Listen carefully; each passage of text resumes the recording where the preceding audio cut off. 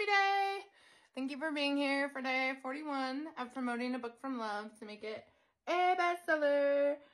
The cool part is, after all my research, like I was saying, it only takes like five to 10,000 purchases in a week to make it a bestseller. So, I mean, this is doable.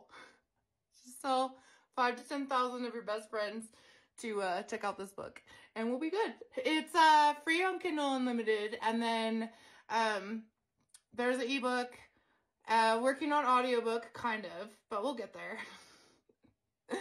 uh, and today I really wanted to talk about just the fact that even with so much going on, and I, I really do tend to have um, a positive um, energy personality type, right? So it could really annoy some folks who are like too realist. I consider myself an optorealist because I am optimistic, but I'm very real about what's going on, right?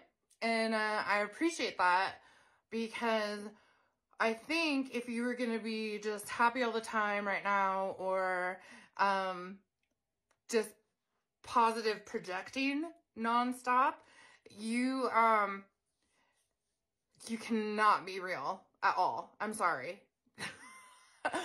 there's a way too much going on around us and there's a way too much happening and there's a way too much change that is going to be um it's going to be unsettling before it's settled, right?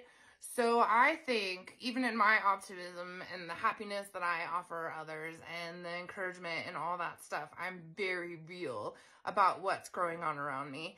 And so with that being said, like you would almost be a psychopath to be perfectly happy all the time and really content. Because what you're doing is you're um gosh what's that? Where you just um cognitive cognitive dis dissonance where you're not paying attention to what's going on around you. And that essence or ignoring all the realness to that and then just proceeding, right? So I do these videos and I encourage people to read my book and I do want to be a bestseller, but there's more to that than than meets the eye always. For one, I'm a Leo with a Capricorn moon and a Capricorn rising. So that means this is this.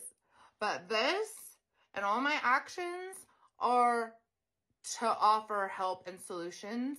And so in my book, I do write about um, a lot of ways for you to function in in this environment and to really hone it in and to really still um, see the beauty in everything, even though there's so much darkness too. And so I really wanted to share that, the optorealist um, yeah, I'm an optorealist. Uh, I wanted to share that because it's important to not imagine that, I mean, not that you even think about me, but to just imagine that I'm just smiling and thinking I wrote this book and it's all great and I'm doing this and I'm doing that.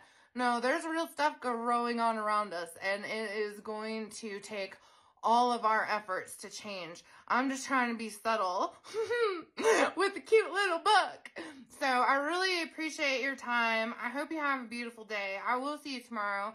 I do hope that you take a moment to look into my book because I have a mission. I'm working on it. I'm really trying. I love you so much. I hope you see you tomorrow. Hope you see you tomorrow. Hope I see you tomorrow. okay, bye.